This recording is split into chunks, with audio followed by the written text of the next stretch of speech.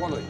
Estamos começando mais um Roda Viva pela TV Cultura de São Paulo. Lembramos que este programa também é transmitido ao vivo pela TV Minas Cultural e Educativa, TVE do Ceará, TV Cultura do Pará, TVE do Piauí, TVE da Bahia, TVE de Porto Alegre e TVE do Mato Grosso do Sul.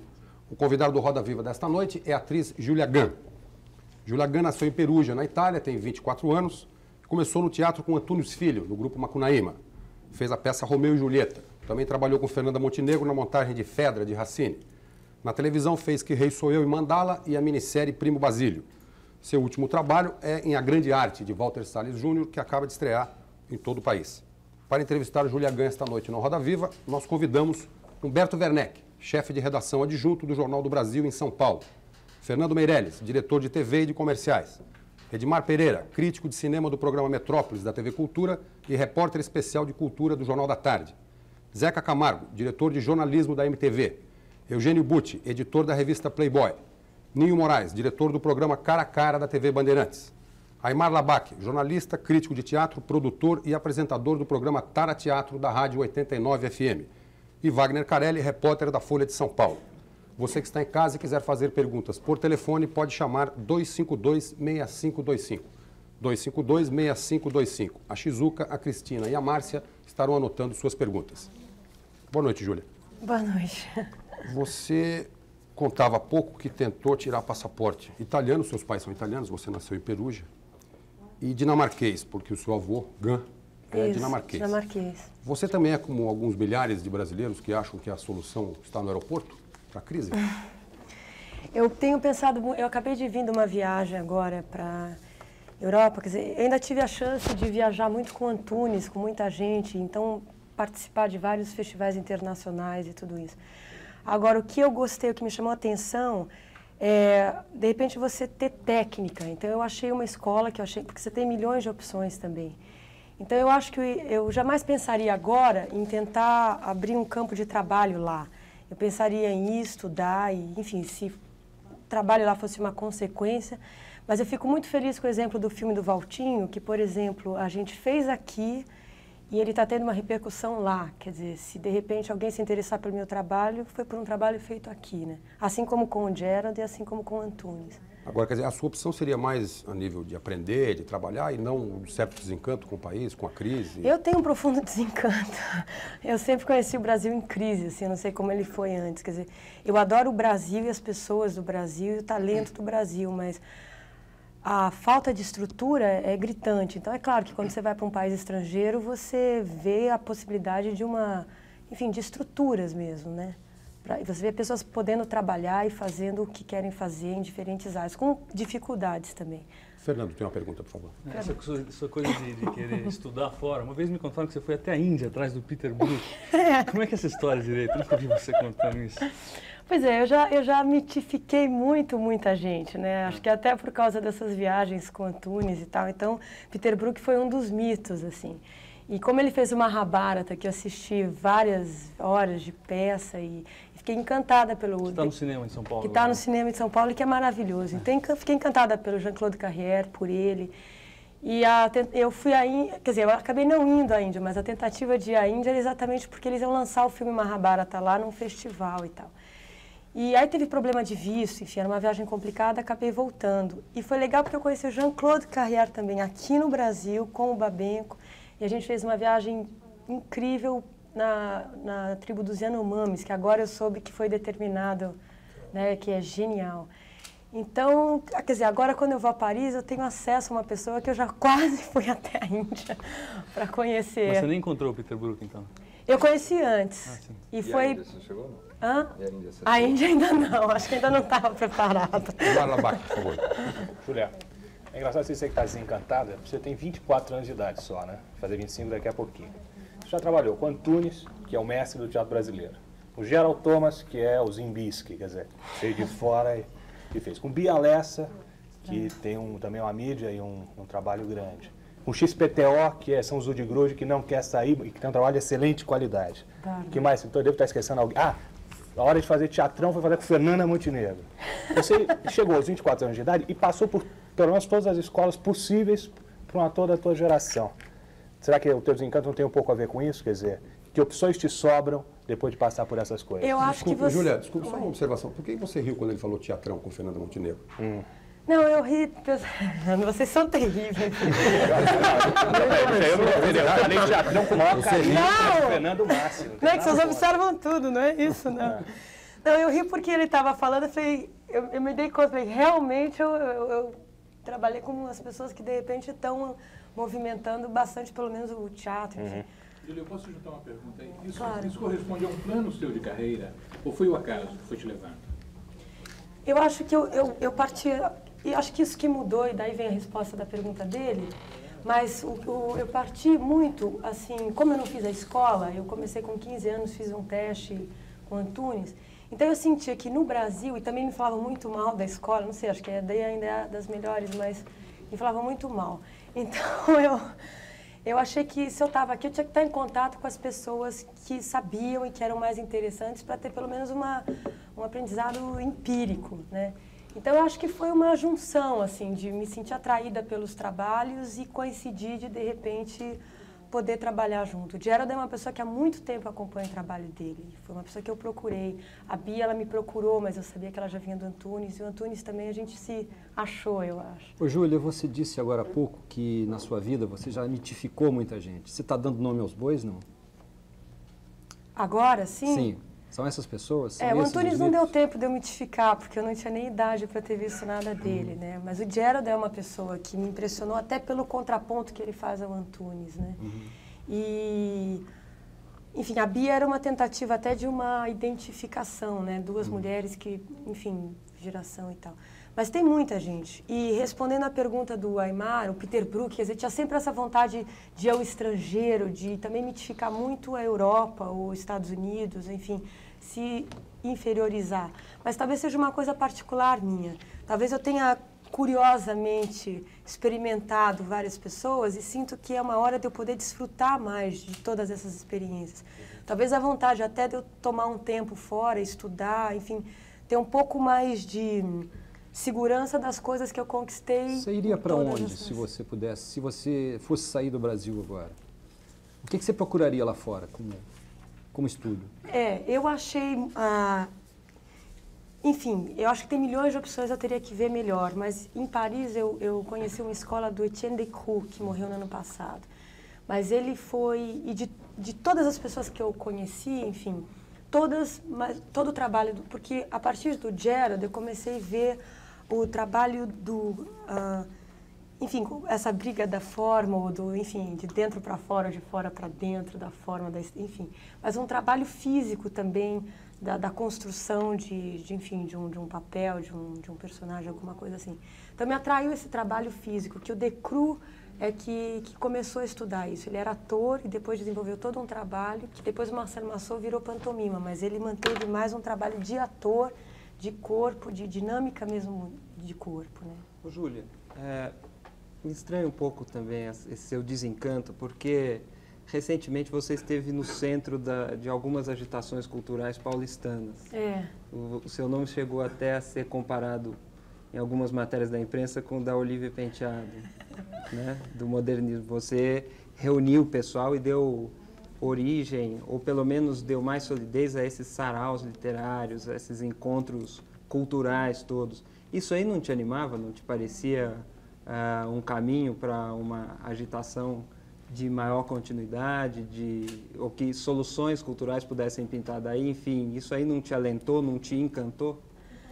Eu quando, quer dizer, eu, é, eu percebi nessa época, assim, que as... ah, e até eu percebi antes, no plano Collor, né? Quando teve o plano Collor, que todo mundo se viu num estado comunista por roubo, né? Enfim, e não por ideologia.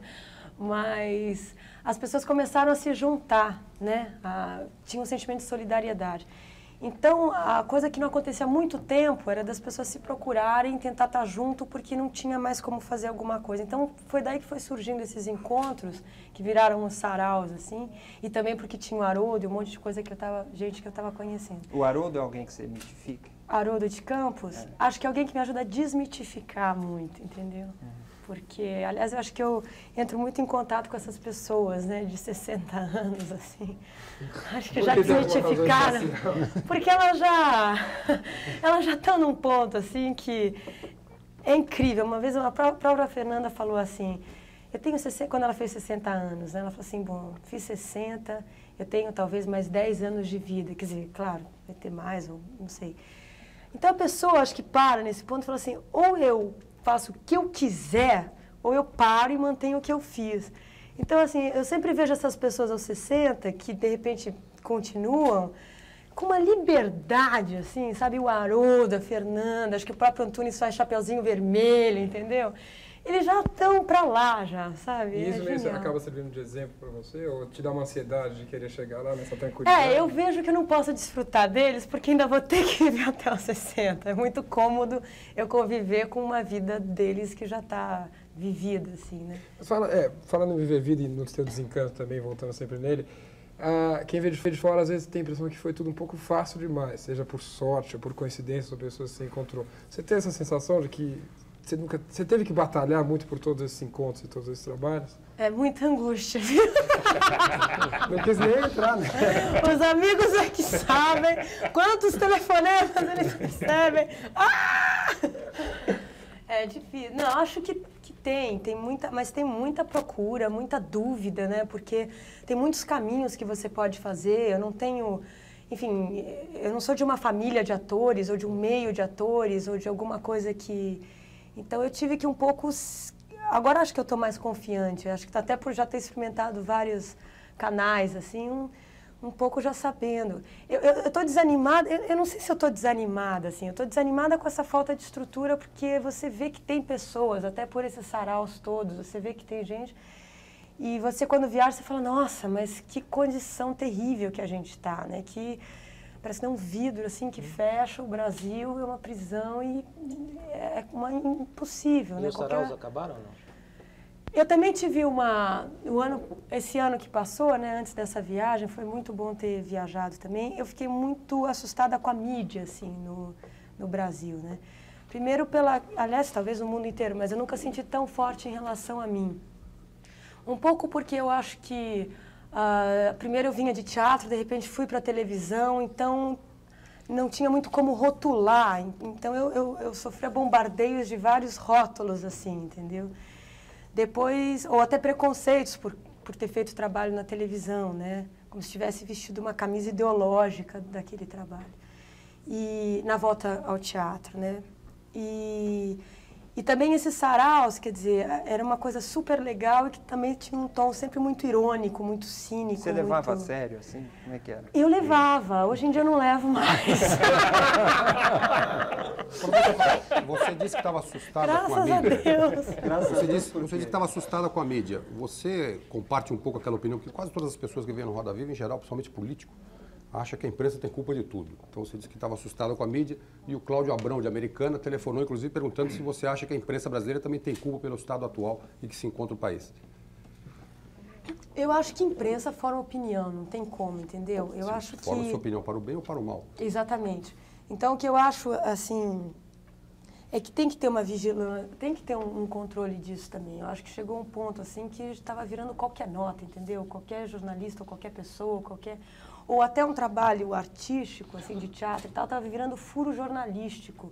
E não uma pessoa que realmente tivesse interessada em entender o processo, como a coisa acontecia, como a coisa se desenvolvia. Então, era o furo jornalístico do ensaio tal, entendeu? Era uma coisa muito jornalística de um trabalho que tem que ser de crítico, de alguém que realmente se interesse, ame Mas você acha que tem que ter controle? Que tipo de controle Não, você acha controle que de tem que ter? qualidade, né?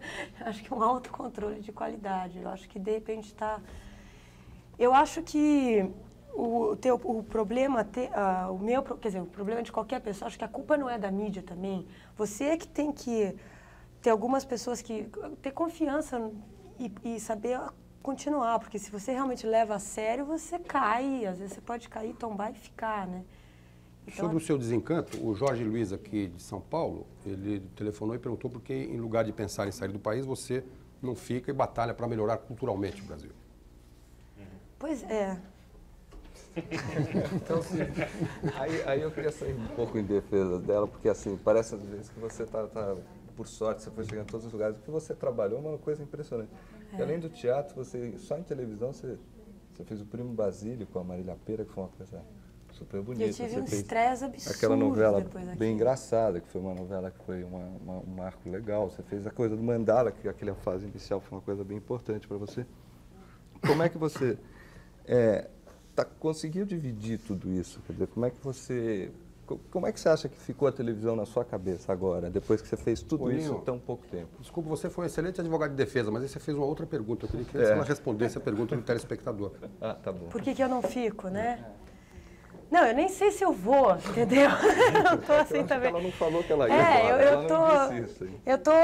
Eu, eu fico muito, né? Assim, eu até achei que a minha ideia inicial era ir aos 15 anos estudar mímica. Eu nunca pensei em fazer teatro. Quer dizer, e desde os 15 eu tô ficando e fazendo uma coisa e me vejo envolvida. Quer dizer, quando eu digo de uma vontade de sair, eu até falei isso. Eu teria vontade de sair para para me exercitar mais tecnicamente, para perceber coisas minhas mais, para poder desfrutar aqui. Eu, eu jamais penso em ir, quer dizer, se eu for trabalhar lá é uma consequência, né?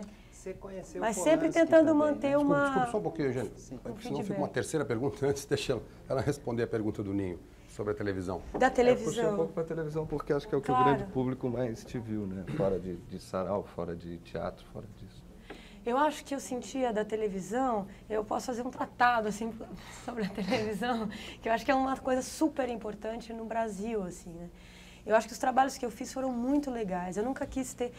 Tudo é muito intu- intuitivo também. Depois que eu vou percebendo que tem uma super lógica por trás, mas na hora eu, eu, eu não entendo muito bem por que que eu estou seguindo aquilo. Depois eu percebo a lógica. Então eu primeiro comecei com minisséries, né, que foi a Mandala, depois o Primo Basílio, porque também sentia que Marília Pera, enfim, era uma coisa de aprendizado. Sempre me coloquei numa postura de aprendiz, assim. E eu acho que é isso que mudou também. E enfim, aí quando surgiu a novela eu não queria fazer, porque eu não queria me ver envolvida totalmente naquilo. Eu tinha muito preconceito também, fui educada para não fazer. e, e aí eu fiz o que rei sou eu, contra uma vontade racional, seguindo uma vontade intuitiva. E que depois eu falei, bom, então já que é para fazer novela, vamos fazer. E eu sentia que seria uma mudança, né? Quer dizer, a partir do momento que você entra para televisão, você entra para uma outra, um outro mercado, uma outra mídia também, um outro rol de coisa. Muda tudo, realmente muda tudo. Além de você fica uma figura popular e assim, você tem uma outra participação mesmo no, no Brasil, assim, né? E, enfim, o trabalho da, do que ressoou eu achei, achei bárbaro, porque ele te fazia uma sátira do momento político que era da, das eleições. Então, achei que a, a novela em si era muito interessante por isso. Não era uma historinha de não sei o quê, mas ela tinha um, um comentário diário. Então, nunca o autor não tinha o que falar, né? E, de uma maneira super didática, simplista e não sei o quê, passava umas informações, assim, né, sobre o que estava acontecendo nas Bem eleições. na eleição presidencial, né? É.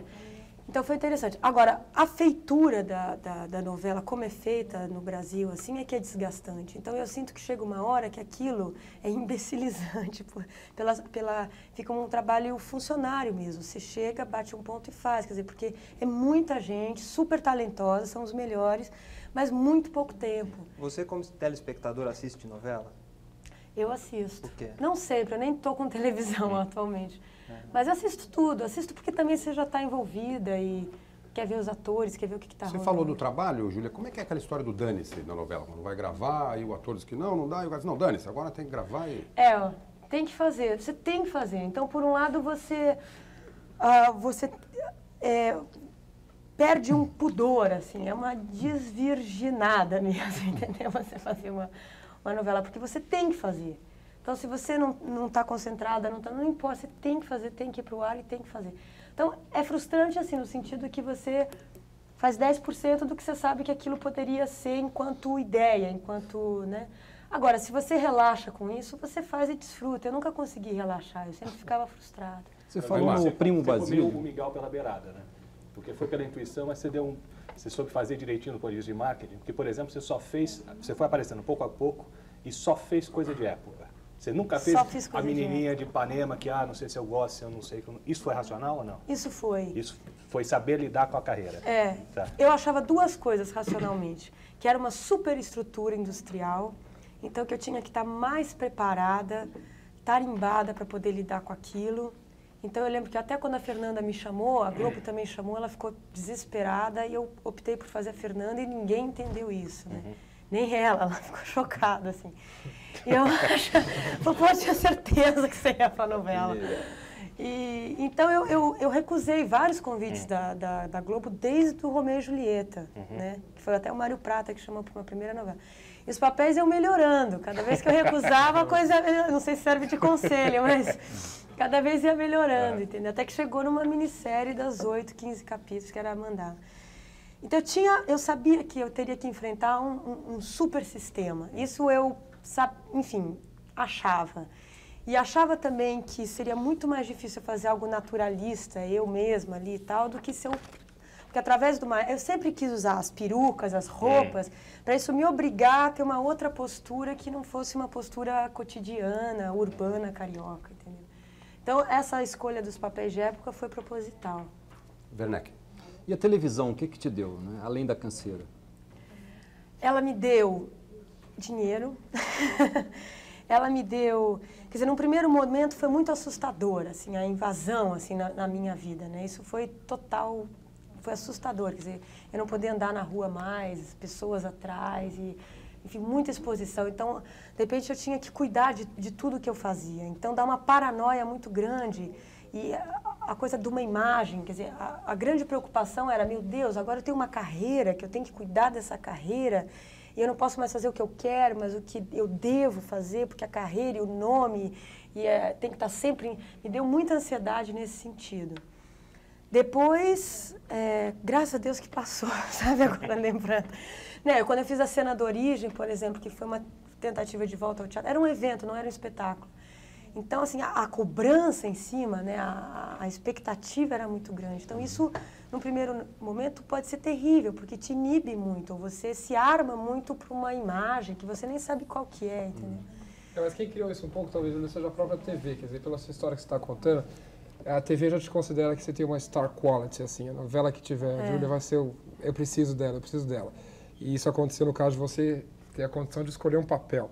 Até quando você podia, você tem ideia dessa sua star quality, assim, até quando você podia ir recusando, ir recusando, ir recusando? É, hoje em dia, é, quer dizer, a Vamp foi um estado, foi uma coisa inusitada, quer dizer, eu, eu conheço o autor, o Jorginho, tá, quer dizer, por um lado, eu tenho uma super boa relação com eles, porque eu nunca tive contrato. Então, eu escolhi os trabalhos e quando eu fazia, eu fazia mesmo, entendeu? Fazia, entrava e dava o sangue. E eles nunca entenderam eu não querer ter o contrato, porque eu podia ganhar um dinheiro enquanto não estava trabalhando e tal. Mas eu sentia que aí já era do Antunes isso, né? que ideologicamente eu ia me acomodar, entendeu? e que a gente só pode receber pelo que faz, entendeu? Quando você passa da TV para o cinema, é uma outra postura? Você baixa a guarda, você para de pensar dessa forma de se defender? Você se entrega mais completamente? Eu tenho uma intimidade muito grande com o vídeo devido ao olhar eletrônico. Ah, então, ou enfim, eu acho pra e eu não tenho medo de que gaste negativo o vídeo, entendeu? Isso é uma vantagem muito grande. Porque você pode fazer, refazer e tal. Eu acho que assim, qualquer outro trabalho que não seja, a única indústria que a gente tem no Brasil é a televisão. Então, qualquer coisa que fuja disso, a, a organização disso, a disponibilidade disso, a procura disso, a vontade de fazer, já é uma guerrilha, entendeu? Então já é um outro sentimento que você tem em relação ao trabalho. Dizer, a única indústria que a gente tem é a Globo, a nossa Hollywood, e é mesmo, né? E o que me deu a televisão, que me mantém hoje, é a condição de fazer comerciais, senão também, enfim, ah, graças a Deus os comerciais continuaram, né, Fernando? Então, E você tem recusado muitos? Você tem coisas que você não faz de comerciais, você? Tem, eu tem coisas que eu não faço. Eu consigo fazer coisas bem, enfim. Que tipo de coisas convidaram você para fazer? Comercial que você recusou? Bom, é muita coisa assim em que você. Eu, eu gosto de comercial. Eu acho que comercial é uma coisa que você tem pouco tempo para passar uma ideia e ele pode ser muito bem feito e ter uma repercussão muito grande, né? Eu, eu sempre gostei muito de fazer comercial. Até já fui censurada por comerciais, assim. Teve da Telesp, teve um da Playboy que foi censurado, teve vários. Então eu acho muito legal, eu acho que tem um desenvolvimento muito grande do comercial no Brasil, até porque os técnicos todos de cinema estão nos comerciais e tal. E eu recusei assim coisas que são muito que não tem a menor qualidade de assim a nível nacional, né? Sei lá, varejos, coisas de prédio ou algumas coisas que aí é muito ruim O que, que você assim. tem contra prédio, por exemplo? Você mora em casa ou apartamento? Tá bom, eu vou fazer os comerciais de prédio. Pelo amor de Deus, eu preciso fazer O comercial. Eugênio tem algum projeto de construção de prédio? Não, ele é tá mais. pensando- Eu não tenho nada contra nenhum produto. Quer dizer, talvez. Acho que nem se. Eu não fumo, mas até cigarro, não sei, não sei. Isso eu teria Júlia, que é pensar. engraçado a tua preocupação em gastar negativo quando você falou de cinema, como é que é o trabalho de cinema, sendo que você vem de teatro. Quer dizer, com você, teoricamente, as pessoas, as pessoas gastariam o mínimo de negativo possível, ou não? Não tem negativo. Eu lembro que o primeiro curta que eu fiz era assim. Ai, vai, vai, porque não tem mais negativo. Ai, acerta todo mundo, reza, porque não tem mais. Ai, tomara que dê tudo certo, que a câmera chegue. É uma condição muito precária. assim, Quer dizer, a o filme do Valtinho foi uma coisa surreal nesse sentido, porque, primeiro, que você tinha. A equipe era brasileira, mas você tinha atores do, do. Essa sensação que eu acho importante. Acho que não é nem tão importante sair do Brasil ou voltar para o Brasil, mas é comunicar com outras pessoas, entendeu? Você recebeu um- o, o pedido da Warner de mandar um pouco seu, mandar uma... É, teve Material? um, teve um, um diretor de casting lá que ligou falando comigo, querendo falar comigo com o nosso agente, como se a gente tivesse agente. Eu vou chamar e mudar a voz. Não, é muito chique, entendeu? Não dá, não dá. O meu agente, chiquérrimo, do Tunico Pereira, é dos atores brasileiros, o Raul Cortez. É diferente trabalhar com um ator americano? O que foi bacana desse trabalho é que você vê que, ah, claro, tem técnicas diferentes, principalmente os dois atores, o Tiki e o, e o Peter, né? Peter Coyote. Peter Coyote. Eu trabalhei mais com o Peter, eu não trabalhei com os outros. Mas esse trabalho foi bacana porque tinham também mexicanos, tinha gente de vários lugares. E você só mede o teu trabalho quando você está em confronto com essas pessoas. Até que a gente mitifica porque a gente recebe um monte de informações, mas não tem um contato direto. Então você vê que funciona. Quer dizer, que as dúvidas são as mesmas, que o jeito... As condições externas são diferentes, ou até de ah, possibilidade de, de ter um acesso direto. a- o Peter Coyote fez o curso do Crew, entendeu? Quer dizer, as informações talvez... É, passem mais facilmente em Nova York do que, entendeu? Mas isso que eu acho importante, essa junção de pessoas. E você poder entrar num set, ah, isso foi chocante também. Porque o, quando você entra num set, que a última coisa que é vista é o ator, né? Porque ainda está ajeitando a luz da câmera. Aí vai lá, faz isso, tá ótimo, tá lindo. Já foi e você nem respirou. Lá não, quando tinha que filmar, o Peter falava, não, não tem mais câmera agora, entendeu? Agora a gente vai fazer a cena que já foi ensaiada, já foi discutida. Então era assim, sutilezas de interpretação. Você estava um pouco mais assim, um pouco mais assado. Quer dizer, isso a gente nunca tem aqui. Você disse que aí armou tudo, aí o Peter disse, agora a gente vai filmar. Quanto que o Valtinho participou? É, como ele trabalhou perto de vocês, assim? Eu, eu, numa entrevista já ele já disse que ele deixava os, os atores muito à vontade. É. Quanto à vontade? Quanto à vontade, né? Faz o que quiser. a gente. não, é, eu só trabalhei com o Peter Coyote, então eu não acompanhei toda a filmagem, assim. Teve uma vantagem, o Valtinho, ele, no que ele não se sentia seguro, ele se armava da melhor maneira possível. Então ele foi super cuidadoso. Então, por exemplo, com a, com a nossa desculpa do inglês, né? Eu não sei como ele trabalhou com os outros atores, mas com, comigo, por exemplo, tinha um coach americano. Então, para treinar o inglês. E ele também ensaiava cenas de milhões de maneiras possíveis e imaginárias, baseado no que o Valtinho queria. Então, é, quando chegava na hora de filmar, eu já tinha todo um repertório que ele podia dizer o que, que ele queria ou não. Quer dizer, se ele, tem, se ele tivesse alguma dificuldade de não saber como extrair alguma coisa de você, ele sabe o que ele quer. A vantagem dele é que ele sabe o que ele quer e o que ele não quer. Então, se ele não sabia como extrair, pelo menos eu tive um as técnico que O que, você acha do seu personagem, ou do filme inteiro? Bom, eu adorei ter feito a Gisela, até porque ela, ela tinha uma coisa que eu estava vivendo naquele momento. Não era um personagem de época que eu tinha que entrar, não, eu não tinha que entrar em nada, em nenhuma história, em nenhum trabalho de antropológico sobre nada. E, e eu estava vivendo enfim, muito o rock and roll e essa coisa mais direta de você poder falar com a minha geração e não de uma mulher do século passado sobre traição, coisas que até eu mesmo não tinha vivido ainda. Então, para mim foi muito legal, foi uma coisa que foi contemporânea a mim. E uma coisa de sensualidade, que eu nunca tinha feito, uma prostituta. É maravilhoso prostituta. Eu, se pudesse, faria todas. Você concorda, você concorda que o sonho de toda mulher, ou pelo menos toda atriz, é um dia interpretar uma prostituta? Bom, eu adorei, eu recomendo. Você fez um trabalho sobre sensualidade também no vídeo do, do Bressani, não? Aí é que tá. A partir desse momento eu comecei a descobrir isso, porque eu sempre fazia as heroínas ou alguma coisa, né? E de repente, porque a prostituta o que é legal, legal na fantasia, não na realidade dela, porque eu me interessei muito pelo mundo, né? Eu fui no Rio a fundo, na Vila Mimosa, nos Barbarelas, nos sexos explícitos todos e convivi. Até que eu sou apaixonada, vou em Pigalle, vou em todos os lugares agora. E mas é que assim, a partir do momento que uma mulher, a coisa que a gente mais defende é o corpo, né? O sexo, é, é o nosso primeiro reflexo. A partir do momento que você comercializa isso, muda algo, né, assim na tua cabeça. Quer dizer, não é que você também você é frágil fisicamente, mas você já lida com a coisa que você mais preserva, né? Então já muda uma postura de vida mesmo, né? Isso é muito interessante. Voltando à área dos convites, você posaria ou já posou para uma revista masculina, não? Olha, eu, eu, eu sempre penso de um jeito interessante de fazer as fotos, entendeu? Porque para vender, assim, para mostrar meu peito, minha bunda, minha xoxota, isso eu não faria, sabe, explicitamente, assim. Agora, se eu... a gente pode falar qualquer coisa? Porque tem outras coisas. que você vai Mais ou menos. Opa! Vocês não me liberem, não, hein? Quem falou em controle da imprensa aqui foi você, não foi. É, exatamente. Que bom que é ao vivo, que nem um jornalista vai registrar nada. Mas...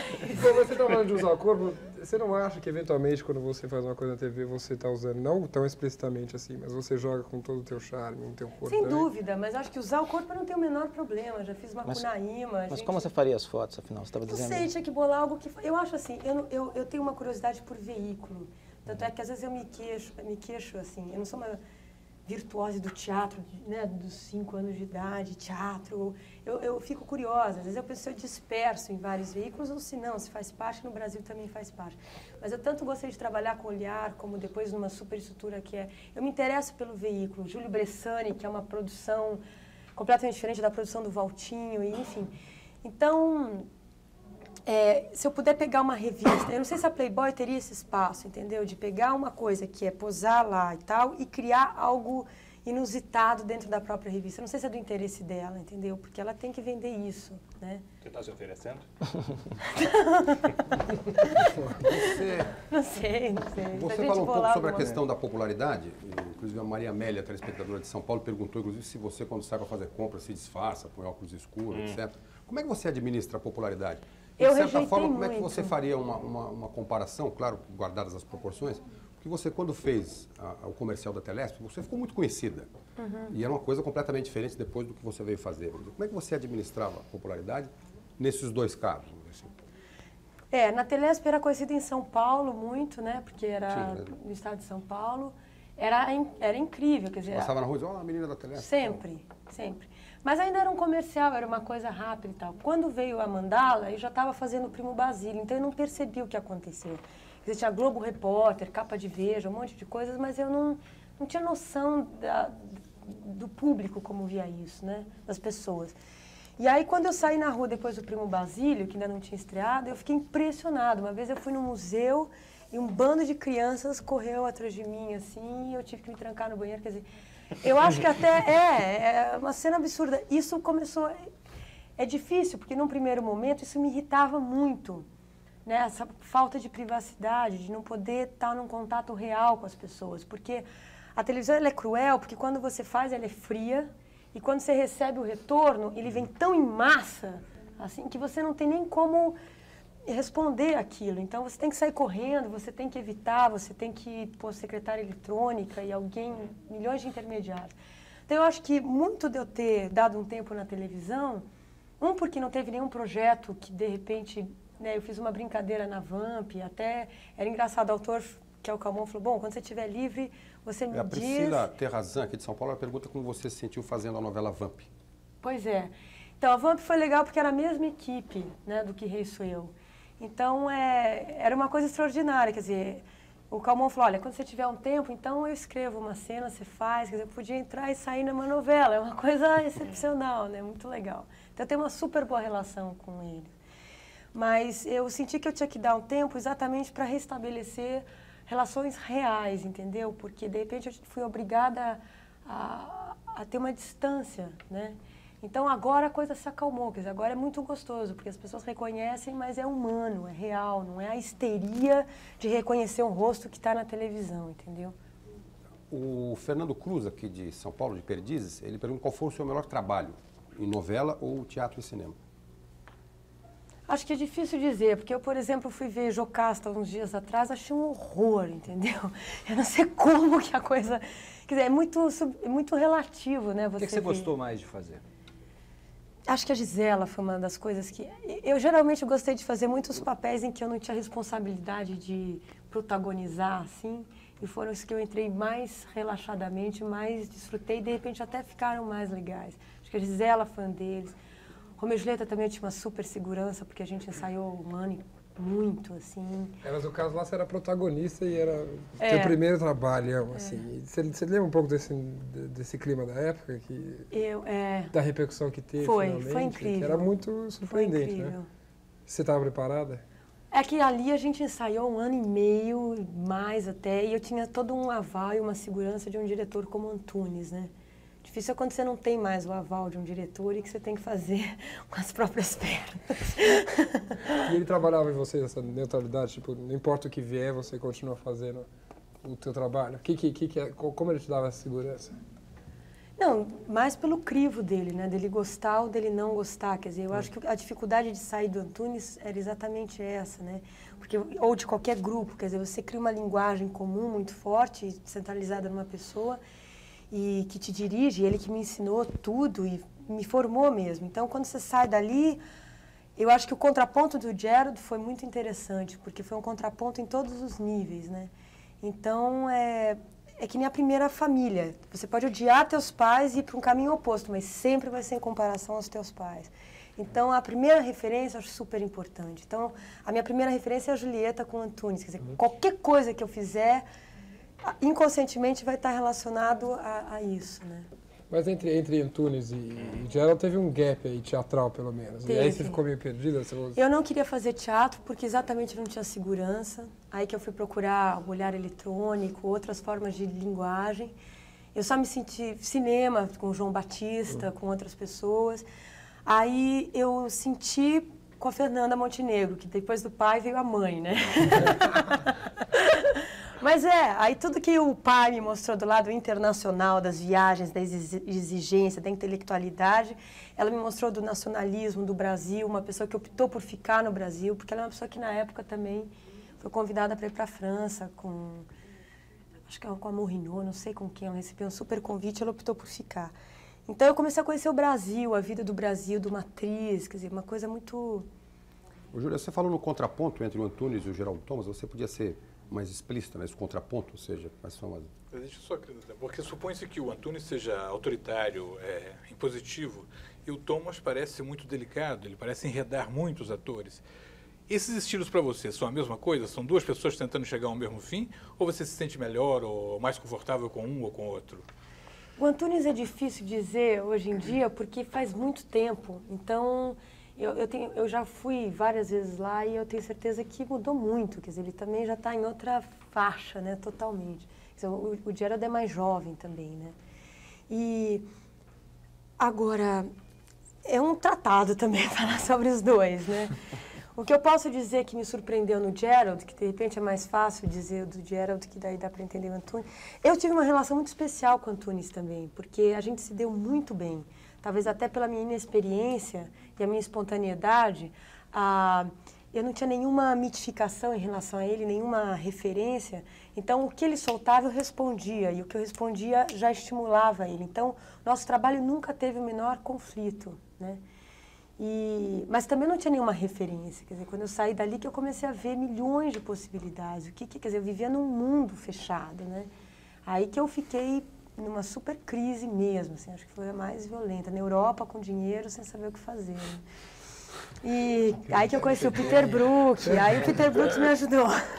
Quando você foi trabalhar com Gerald, você entrou num outro mundo onde você supostamente, ou teoricamente, você estaria ocupando ou tomando uma parte do espaço da que era a atriz, a porta-voz, a musa dele. Vocês se deram bem? A Beth, né? Vocês dividiram bem esse espaço? O projeto com Gerald começou pela Beth, porque a gente já tinha trabalhado antes no Antunes e a gente tinha muita vontade exatamente de duas atrizes, independente dos seus diretores, quer dizer, eu do Antunes e ela do Gerald, né? Porque eu, enfim, fui a musa dele na época da, da Julieta, que a gente se encontrasse e tentasse criar alguma coisa, partindo de duas atrizes. Aí a gente, enfim, a gente começou a procurar textos e tal e caímos em Joyce, que o Haroldo recomendou. O Joyce não dá, vamos pro Becker.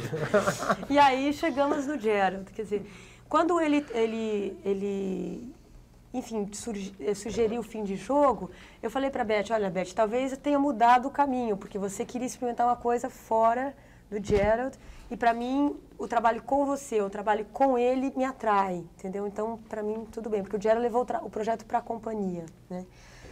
E a gente se... E, eu e a Beth, a gente criou uma cumplicidade que eu acho rara, assim, de duas atrizes jovens poder ter uma troca, né? Eu acho que nós duas nos respeitamos muito e, e fomos super generosas uma com a outra, até por confiar, talvez, por sermos tão diferentes, a gente sabe que uma jamais vai interferir no, no canal da outra. Julia, deixa eu só voltar um pouquinho. Essa crise que você disse que foi a mais grave para você, que foi quando você saiu do Antunes, Foi. não é uma coisa só de gente jovem. Vários atores, excelentes atores, saíram do Antunes e passaram uns dois, três anos para saber onde ficava a porta da saída. O próprio Kaká Macunaíma, que fez Sem dúvida. aquela obra-prima que era o trabalho dele no Macunaíma, também levou uns anos para se encontrar. A que você atribui essa crise que não era só sua? Eu, particularmente, né, eu senti assim, primeiro que você trabalhando, eu trabalhei três anos com ele, dentro de um grupo, e aquilo, a gente trabalha muitas horas, né, eu ainda estudava de manhã, quer dizer, aquilo é tão absorvente. Você se formou na escola? Formei, terceiro colegial. Prestei até vestibular para sânscrito, só porque sabia que não ia fazer mesmo, mas queria ver como é que era o vestibular. Mas, enfim, aí eu sentia que... Tanto que uma vez apagaram-se as luzes do teatro e ninguém sabia o que, que era, e parecia que era um golpe que estava tendo no, no país. Aí que a gente se tocou, a gente falou, cara, a gente está aqui, de repente desmorona a parede, a gente nem sabe que teve uma guerra. Vocês trabalhavam de 12 a 12, né? De meio-dia 12 à a noite. 12. E eu ainda estudava às 7, às 11, quer dizer, então era uma loucura. Então, você fica muito eh, ligada a ele, né? E as leis, enfim, ao que é desenvolvido dentro daquele grupo, filtrado por ele. Então, eu pessoalmente senti uma hora que eu adorava o trabalho com ele, foi o que eu falei para ele. Mas eu não tinha tido nenhuma adolescência ainda para formar um mínimo de, de opiniões para poder argumentar ou discutir, ou eu não tinha nem referência, então a informação dele entrava in- inteira. E uma hora eu falei, eu tenho que saber se eu gosto desse quadro ou se eu gosto porque o quadro, blá, blá, blá, entendeu? Então eu, eu sinto que e outra coisa que eu acho que é perigo, que era perigosa, não sei se ele mudou, que a gente não ganhava nada, então todo mundo tinha uma ideologia muito grande de estar trabalhando ali e se acreditava, enfim, em toda uma postura, em toda uma uma posição até política, enfim, da, da postura de um ator dentro de um grupo e tal.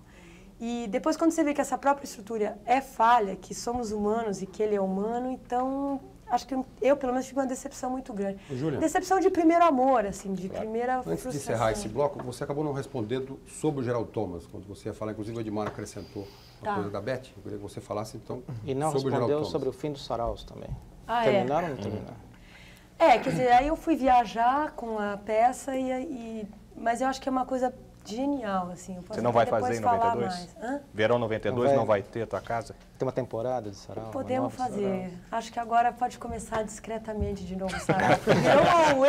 Eu acho que a ideia era tão boa que ninguém acreditou. Então eu virei Olivia Guedes Peixe.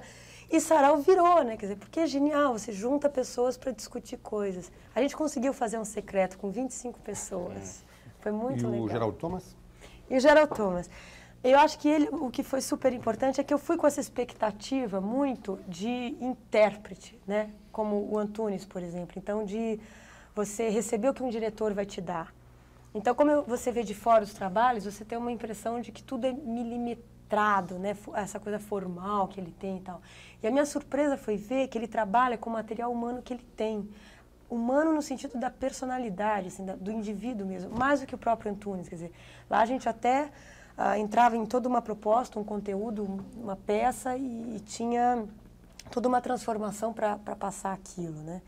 Claro, é sempre você, não, não tem como fugir disso, mas o Gerald, ele principalmente, e, e ainda peguei um texto que era Beckett, né? Quer dizer, foge totalmente do, de qualquer psicologismo, re, realismo, qualquer coisa assim.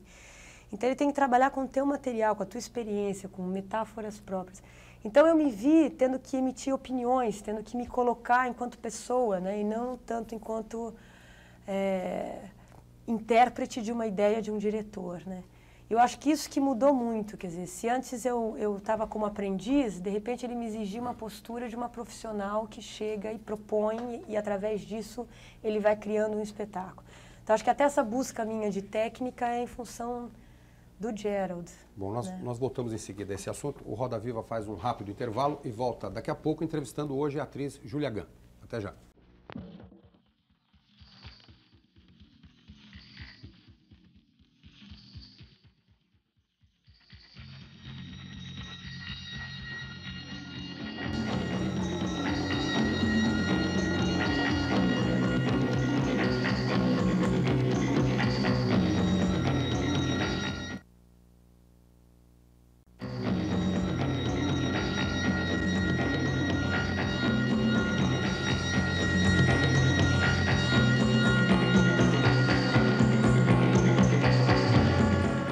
Roda Viva, que hoje está entrevistando a atriz Julia Gann. Você que está em casa e quiser fazer perguntas por telefone, pode chamar 252-6525. 252-6525. Ô, Júlia, no primeiro bloco, você passou umas duas ou três vezes ali pelo dinheiro, a TV deu dinheiro, falou um pouquinho o negócio do Antunes. No final, você disse que uma coisa perigosa que tinha com o Antunes no Macunaíma é que não se ganhava nada. Tem uma frase do Antunes que diz, você, en passant, mencionou, que o ator com estabilidade financeira se acomoda. É. Você acha que o ator com estabilidade financeira se acomoda? Bom, eu vi muitos exemplos disso. Não de acomodar, eu acho que. Por exemplo? Eu acho que o que me impressionou muito na Globo, por exemplo, era pessoas muito jovens que de repente tinham um, um, um salário super, uma estrutura, né, muito grande, monetária que é rara para, enfim, pessoas de 20 e poucos anos, e que daí criavam toda uma estrutura também de vida e aí não abriam mão, não podiam mais abrir mão disso para experimentar o risco, porque qualquer coisa que fuja dessa indústria que é a televisão, eu falo da, da televisão porque é a indústria que tem, né? Se fosse uma indústria de teatro, de cinema, enfim. Mas, então, é, tem que manter aquela estrutura de vida e não abre mão para experimentar outras coisas, quer dizer. Então, eu acho uma judiação, porque a, a televisão é um veículo que você dá o teu trabalho, né? Você não tem um tempo de elaboração. Você pode aprender a fazer mais rápido, técnica de televisão, e tem gente que faz super bem e é bárbaro na televisão.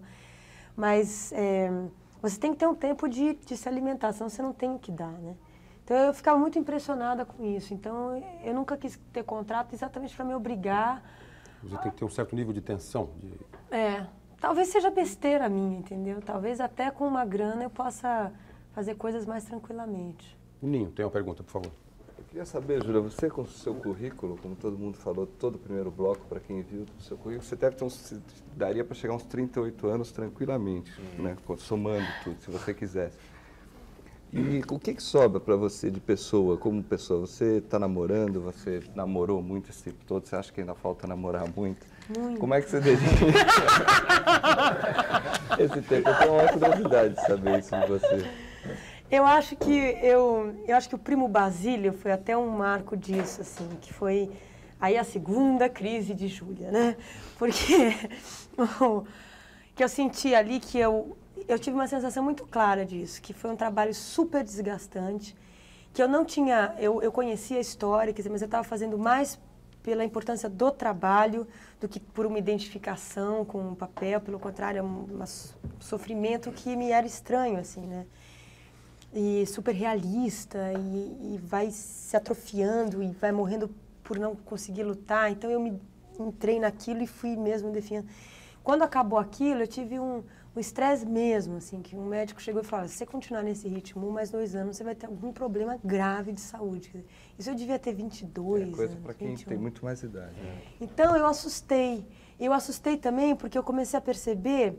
Foi um trabalho de cinco meses em que eu tinha segunda-feira de folga, decorava, já tinha decorado os textos, mas decorava todos os textos da semana e gravava muito durante a semana. E tinha um chofer que me levava e me trazia, eu dormia, ele esmurrava a porta, eu ia. E convivendo com pessoas de uma outra geração, né? O Daniel Filho, enfim, pessoas bárbaras dentro do que fazem, tá? mas de uma outra geração. Então, quando acabou esse trabalho, eu vi que eu não tinha casa para voltar, sabe assim? Que então eu estava acostumada a sair de um trabalho, já engatar no outro, então já ter um hotel ou a casa de onde eu ia ficar, ou viajar, ou então quando eu percebi que eu não tinha nenhuma referência da minha vida particular, se é que se pode ter, assim, né? Eu assustei, porque de repente as pessoas ficavam felizes de acabar um trabalho, voltar para os maridos, para as casas, ou para... E eu não tinha para onde voltar, eu tinha uma mala, quer dizer... Aí que eu comprei um apartamento, quer dizer, depois de muito tempo, mas aluguei um e o maior alívio da minha vida foi ver um armário com tudo que era meu ali. Tinha quatro calças da mesma cor e, e logo depois disso também eu conheci os Titãs na Bahia. E eu, foi muito chocante porque eles estavam dizendo diretamente, eh, pelas letras das músicas deles e tudo, e um trabalho de grupo, quer dizer, não era um líder ou, enfim, era um grupo super teatral, mobilizando uma, um, enfim, uma geração ali que estava naquele show. Então, esse contraste do que eu estava saindo com o cabelo oxigenado, eu tinha engordado, né? do- eu até cheguei para eles e falei, mas vocês conhecem, vocês viram o Primo Basílio? Eu achei que esse contraponto, eu falei, não, eu, eu quero estar mais próxima de mim mesma, né? Foi aí que você teve adolescência? Foi aí que eu tive a minha adolescência. Fiquei oito meses sem trabalhar. você disse que encontrou os Titãs e deu um barato ver que eles estavam falando para a geração deles. Você nunca teve um diálogo direto com a tua geração, né? Nunca tive. Nem, no, nem, nem em teatro, uma coisa assim. Nem em teatro. Te incomoda? É, é uma coisa que me incomoda. Quer dizer, quando eu vou ver que realmente, talvez a coisa mais próxima um pouco seja até o próprio Gerald, né? Quer dizer, quando mesmo a cena da origem era um texto do Haroldo que falava sobre a Gênese, era uma coisa dificílima. A Bia também foi uma tentativa, né? Porque ela tem 30 e poucos anos e a gente tinha feito já uma segunda geração, já é mais próxima, né? A Bia era uma pessoa que que eu imaginei que a gente poderia de repente ter feito alguma coisa, quer dizer, na época que ela fez o Orlando e tal, ela tinha uma, uma ideia de formar um grupo. Eu até cheguei a participar do começo do grupo, mas estava com a novela e não queria misturar as coisas. Mas eu sinto isso. Eu não sei também no teatro, né? Agora está surgindo muita gente jovem fazendo coisas e eu também tinha muito medo, eu acho, né, de fazer simplesmente. Eu acho que o que me mudou muito em termos de conhecer o rock é que você, os bluesmen, você não precisa necessariamente ter uma técnica para fazer aquilo, é uma coisa que vem da, da alma, do sangue. Então, ter uma confiança um pouco mais na, na, na tua vivência, né, ou na tua experiência, seja ela qual for, da idade que for, do país que você passou, né. E nessa coisa dogmática de ter um mestre eu acho que e que você tem que aprender e o aprendiz. acho que essas duas correntes eu, eu tinha muito conflito com isso, né? Era, acho que os Titãs fizeram muito isso, que é um grupo que veio de escola e são eles, né? Então essa autenticidade de uma de um grupo de uma ideia em contraponto a uma, um mestre, né?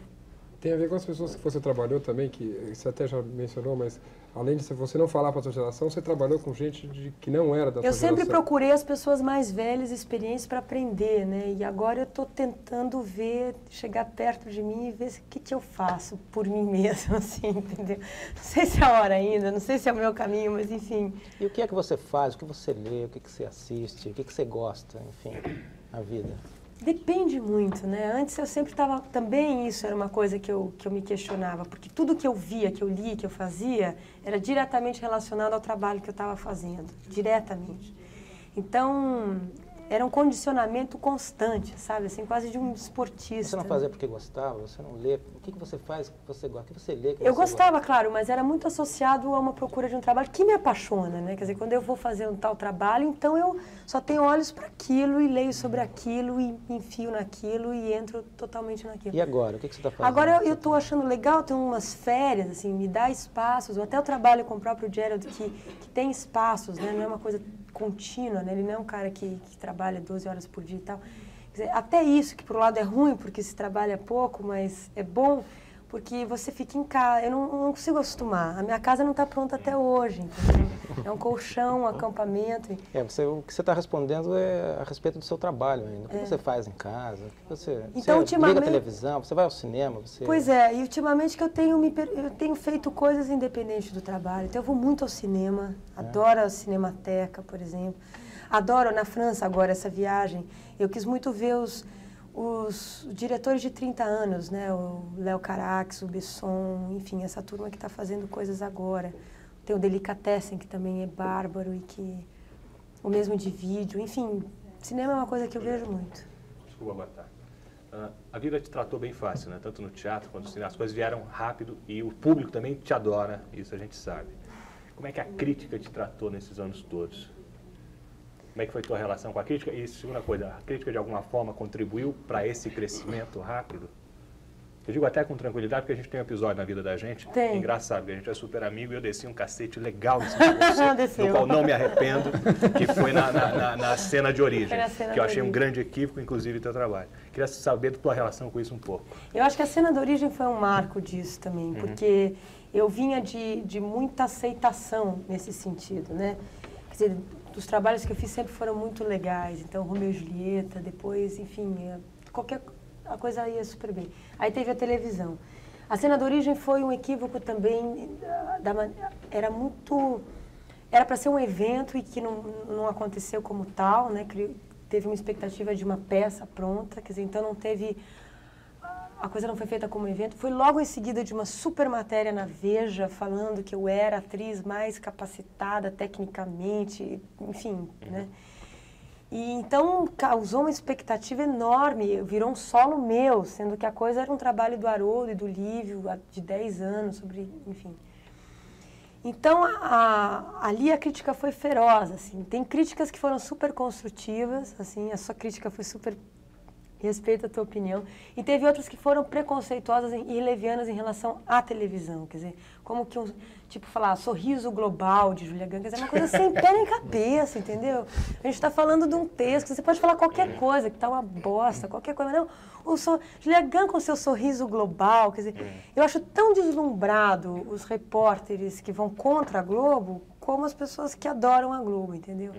Eu acho que é um um deslumbramento ao inverso. Mas a crítica serviu para você refletir sobre o Ali, trabalho. servi- assim, eu levei uma porrada muito grande, porque era um trabalho que, a mim, eh, era um resgate ao teatro. Foi onde eu vi também que são técnicas diferentes quando você trabalha com imagem, quando você trabalha no palco. Quer dizer, então, eu voltar, né? Quer dizer, se eu tive que mudar para fazer televisão, eu tive que voltar para fazer teatro. Então, eu senti que eu já não, já não me era mais tão íntimo aquele espaço, aquele público, a projeção, né? E o domínio daquilo. E, e eu fui com muita paixão nessa volta. Então, para mim, doeu muito ver que a coisa não acontecia. Eu fiquei com muito medo. Falei, meu Deus, será que não tem volta? Será que o que aconteceu antes em teatro é porque eu era muito jovem e era quase uma coisa. Enfim. Então, eu, eu pensei muito sobre isso. Eu acho que por isso que eu também resolvi ah, me fechar um pouco e, e radicalizar as propostas. Tanto é que, enfim, estava fazendo a novela. Então, acabei a novela, também não quis mais fazer coisa junto, entendeu? A novela e teatro, acho que o teatro é um bicho muito ciumento e possessivo. Então, assim que acabou a novela, eu fui fazer o trabalho com o Valtinho, que foi genial. Aí começou o trabalho com Gerald, aí começou o contato com Haroldo, que já vinha da cena de origem, aí os saraus, e aí os encontros, aí o Júlio Bressani. Então, começou todo um trabalho de, enfim, de aprofundamento. Televisão mesmo. você não tem projeto de voltar tão cedo assim? Quer dar um. Eu adoro a televisão, assim, eu acho que... Mas você eu- fala com um certo preconceito de que se você só dá, só dá, não. É. Eu acho que é uma, é uma linguagem diferente, na verdade. A linguagem da espontaneidade. Sua primeira emoção está lá, não tem jeito de. Não sei porque todos os atores e crítica têm essa coisa de. Tem razão. E eu sinto que você ainda você tem um pouco disso Eu tenho também, esse né? ranço ainda, né? Mas eu acho que, eu mis- é que tem duas coisas, eu Ah. acho, que, que ficam misturadas. Que uma coisa é o trabalho em si e outra é, enfim, a Globo, a importância da Globo e a coisa como acontece no Brasil, né? Então essas coisas são muito interligadas. Quer dizer, trabalhar com vídeo, a novela, se não fosse os 300 capítulos que tem para ser isso é feitos... cansativo pra caramba. Quer dizer, é- se você for pensar, é uma loucura. Quer dizer, chega uma hora que você vai lá. Não, é, o que Resseu não teve tanto problema assim, mas os papos são comuns, são banais, assim, ah, você vai para onde? Você vai tomar um suco? Você não tem nem muito como ter- Interpretar, botar é, você tem um. Enfim, você, talvez o outro ator que trabalha mais com você, mas cada um tem um horário diferente, cada um chega, quer dizer, você tem com o diretor um pouco. E, mas tem, tem cenas que são geniais, eu, eu adoro televisão. Mas eu acho que tem também uma, um questionamento, talvez, com a própria. com a industrialização da coisa, né? Então, ver que. Eu acho que é o que não está acontecendo agora. Fiquei surpresa de ver tanta gente fazendo teatro, entendeu? É uma pena não ter mais o cinema, mas talvez o teatro ainda é barato e, a- e também não tem tanto prestígio assim fazer televisão. E o nível das novelas também caíram dizer, não muito. tem tanto prestígio numa, num determinado É, você tem um- né? um- uma coisa popular e social e poder aquisitivo, porque você faz publicidades, então você ganha grana, então você tem acesso a um monte de coisa, você... E às vezes o trabalho é legal também, mas... é, Mas assim, construir um personagem ao longo de oito meses, isso não, não, não tem interesse, não é... Quer dizer, a coisa tediosa do dia a dia mata esse, o gosto, É o barato de descobrir, novela de cada dia você colocar... Porque teatro você constrói o cara e daí, quer dizer, você afina. Mas você, você- você elabora, elabora, elabora e daí está pronta a coisa, né? Você, você mexe pouco durante a apresentação. E a televisão é, é- tem a coisa de, de- no, ar, no ar, você vai mudando, você vai construindo. Isso deve ser uma coisa interessante. Quer dizer, eu É. sinto que é. Eu pensando agora, Ah. eu acho. Pode ser que se eu tiver em cinco meses lá, eu vou estar. Ah, por que, que eu acertei? No começo do, do, do bloco passado, você falou de pessoas que você me identificava, admira, você citou sempre encenadores, pessoas que passaram conhecimento teórico, meio abstrato. Agora, sua carreira explodiu muito cedo, mas você teve tempo de ser fã, de sonhar em ser como? Tinha atrizes que você se fixava? Tem alguma atriz que está dentro de você? Alguma coisa que você viu no cinema do passado, de agora, ou do teatro? Atriz que você seguia, assim? Tem, quer dizer, eu não, não sei te dizer uma, assim, especificamente. Eu estou vendo mas- esse cabelo que me lembra Luiz Brooks, por exemplo. Luiz Brooks, total. Não, cinema expressionista total, assim. né? Aí descobri que tem uma, porque a Luiz Brooks é da Beth, né? Então a minha é a. a minha é a Asta Nielsen, que é. Eu descobri que o cinema expressionista começou na Dinamarca, quer dizer, um- depois que foi. que Teve todo um movimento muito forte expressionista na Dinamarca e que depois, Urban, Urban Gad, né, que era o diretor, e que depois a coisa aconteceu na Alemanha e até a Asta Nielsen filmou com padres. Aqueles olhos também. carregados de preto em volta. Não, eu, não consegui nenhum material A maquiagem dela, é mas depois eu vi um branca. olhão assim, um cabelo assim, completamente louco, entendeu? Você vai ver que eu tô mais castanho sendo. Uma coisa, é- Mas tem Ingrid Bergman, uma época, eu fui super. Tem, tem muita. eu- eu No preciso- Brasil, assim. A Beth Coelho é uma pessoa que eu admirava, admiro muito, mas digo, agora está mais acessível. Antes era um mito, né? Mas até pela contra a gente foi trocando, né? Ela foi experimentar a televisão, enfim, e eu fui experimentar o, o teatro com o Gerald. Mas era uma pessoa que eu tenho uma profunda admiração e outras atrizes também Quem- da minha geração. Faz um conjunto e quem que você levaria para o sarau ideal? Pelo menos seis, meia dúzia de pessoas. Tem que ser gente apaixonada por texto, né? De alguma maneira. Eu Mas a diga coisa- nomes. Você está sempre escapando dos nomes. Ah, não sei. Eu acho que, o, enfim, tem toda uma turma que a gente reuniu. Tem o Haroldo, que é sempre o padrinho, né? Tem toda uma geração de poetas que me é mais próxima, que é o Arnaldo Antunes, que é todo um pessoal que fez várias revistas gráficas, o Atlas, o, enfim, tem várias revistas. Mas assim, Tem o Aguilar, que é um em, performático. em termos universais, Ah, seis universais? convidados básicos assim para o seu sarau. Ah, eu não tenho. eu não tenho nenhuma. Ah, tem tanta gente, eu não sei dizer nomes, assim. Acho que se eu pudesse convidar o.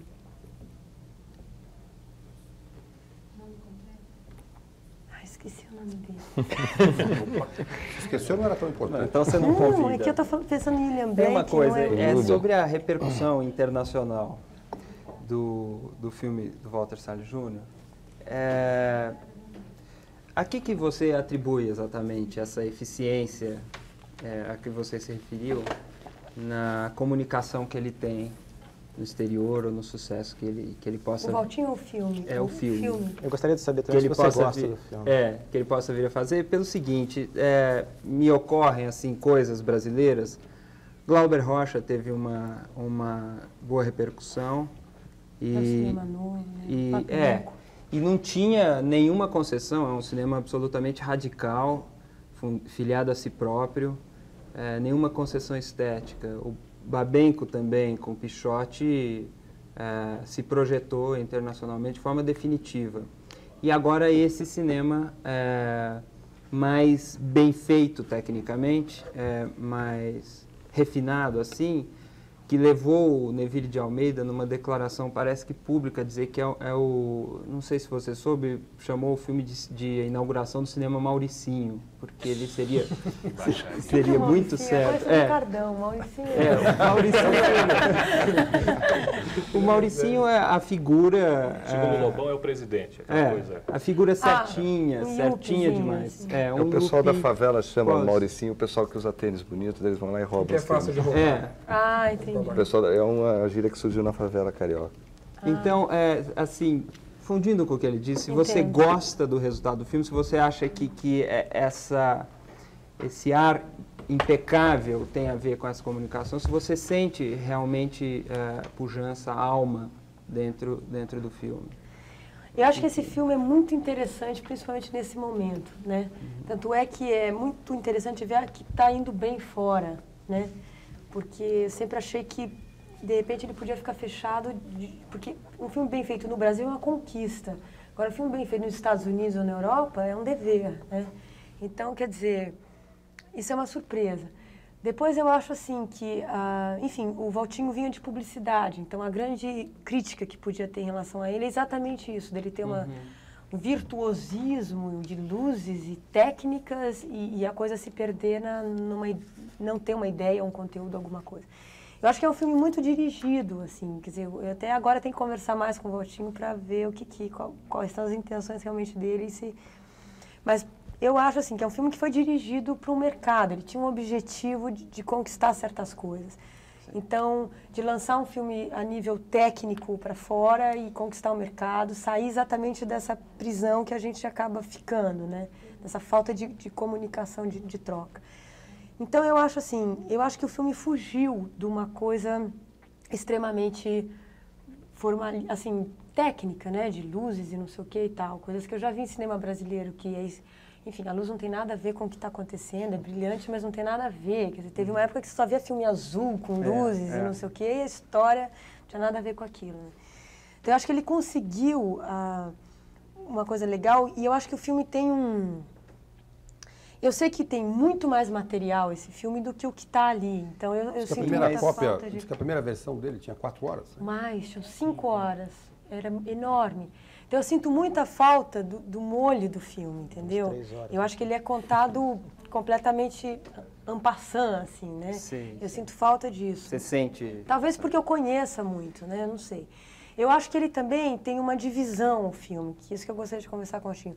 Ele, ele resolveu optar por... Ele, eu achei isso genial da parte dele, que ele criou uma identificação com o filme, que é mudar... Eu achei que o filme ia ser muito criticado por ser falado em inglês, por mudar, como se, a gente- como se fosse criar uma, um, um, um fanismo, assim, entendeu? Uma crise nacional. Como? Em falado em inglês, muda o personagem, já não é mais o... Entendeu? Isso não teve, quer dizer, eu acho genial isso. Uma crítica do filme, de repente, está se vendendo ao mercado americano, entendeu? Enfim, massacrar os Não, valores isso não teve, brasileiros. isso teve, até Mas isso é teria- um grande medo que a gente tinha do filme, era isso. Mas houve uma crítica é, muito procedente é, de dizer de dizer que, enfim, sem entrar no- nos méritos propriamente do filme, mas uma argumentação bastante lógica, dizer que todo mundo afirmava que o filme não parecia um filme brasileiro, não parecia É. um filme brasileiro. Então parecia o quê? Um filme americano. O filme, então, é, é feito aos moldes do, do, do- do filme americano. Você concorda com isso? Não? Você acha que parece um filme americano? assim? eu um acho que filme não. americano médio, ou seja, É, de- claro. comercial comum, normal. Claro. Eu acho que não. Eu acho que o Valtinho, ele, ele, ele criou, tentou criar uma identificação dele com esse fotógrafo, então ele conseguiu colocar ele ali. Então não foi uma encomenda que ele executou. Ele tem uma, identifi da- uma identificação com aquele filme. Isso foi genial. Eu acho que ele jamais teria uma identificação com um advogado da Lapa, o Valtinho, entendeu? Que é um estrangeiro no Brasil, assim, né? Ele é um estrangeiro no Brasil. Então eu acho que ele, primeiro que ele tentou criar essa identificação e ele começa numa coisa existencial que talvez até ele pudesse ter aprofundado mais, enfim, não sei. e talvez até fugir mais ainda de qualquer filme B americano, mas é, só que chega uma hora que ele tem que contar a história. Então ele volta para a historinha e, e conta rapidinho a historinha dos disquetes e tal. E de repente você está indo num caminho e volta para o outro. Então ele, ele nem vai totalmente só no personagem, abandona os disquetes e nem também faz uma super história de suspense, disquetes. E, então você não sabe muito bem. Quem leu sabe que o P era do Lima Prado, que a Bolívia. Tem um monte de coisas da história que passam muito rápido, Na né? verdade, a montagem cortou, porque isso foi filmado, né? Quer dizer, o filme É. de 5 horas tem isso. É, quer dizer, o Gente, o filme problema do como filme foi a resultado, montagem, né? ele foi Não, não, é o montado tempo. errado. Não, não, é o tempo. É que é um. É o cinco tempo. horas você tem que pôr em uma hora e Cinco horas meia, você põe uma hora e muita meia. coisa vai rodar, né? E ele deixou um pouco de cada coisa. Eu acho que isso assim, é uma coisa minha também, que conheço super o filme e é uma opinião minha. Eu não sei como a coisa. De repente o advogado da Lapa pode não entender. Exatamente. Eu queria voltar um pouco para você. Então eu, eu- agora eu gosto do filme, gosto Eu bastante. queria voltar um pouco para você, uma pergunta acho que bem de telespectador assim. Você é filha única, você sempre gostou de ser filha única, você queria ter aquelas famílias enormes, ou você achava que era um barato? Ou isso te deu é, é, força de ficar compenetrado, fazendo coisa e reunir pessoas para inventar coisas? Como é que você... Você odiava o quê? Eu odiava ser filha única, eu queria ter irmãos, eu queria ter uma família grande. Acho que é por isso que eu vivo sempre querendo juntar gente. Você assim. quer ter filho? Quero, quero ter filho, quero ter tudo, assim, Você no primeiro bloco mencionou que tinha, você saiu de um pai para uma mãe falando de teatro. E isso É. te faltou, na verdade? Como não, que, os como é pais tua não. família... Eu acho que até o filho, eles sempre apoiaram até excessivamente, né? Eu, se deixasse, eles até expulsavam de casa para eu ir, para eu ir, para eu ir. Né? Aí falando, não, eu quero ficar, quero ficar, quero ficar. Então, imagine, genial os dois. Mas eu acho que o filho, pelo menos a minha experiência, é que você fica muito responsável pelos pais ou pela relação. Já não é mais um filho e os pais, já é um triângulo, entendeu? Então você eu vejo que um pouco do humor ou da graça ou do descompromisso, assim, eu, você tem um filho, você já vai brigando, um irmão, você já vai brigando desde pequeno, já discute desde cedo, fica uma coisa já muito adulta. Queria que você falasse, eu sei que não é seu departamento, mas queria que você falasse de política. Em quem você votou e se esse desencanto todo e o poder que você tem na mão, que você tem um poder de comunicação grande com a sua geração, ainda que você não fale através dos seus trabalhos com ela, você não poderia ou deveria até mobilizar, se não, se não em termos de política geral, ao menos de política cultural. Por exemplo, forçar para que alguma coisa acontecesse nesse sentido. Não te passa pela cabeça? É, é em quem que você votou na é última engraçado eleição? que a minha geração... Júlia, desculpe, o telespectador Carlos Joel também pergunta se você está satisfeita, por exemplo, com o apoio que o governo possa estar dando ao meio cultural, aos artistas, etc. Bom, acho que ele não está dando apoio nenhum, né? Assim, acho que eu acho que é uma. Bom, primeiro que eu acho um absurdo o governo no Brasil. Acho que é uma coisa de bufão, sabe?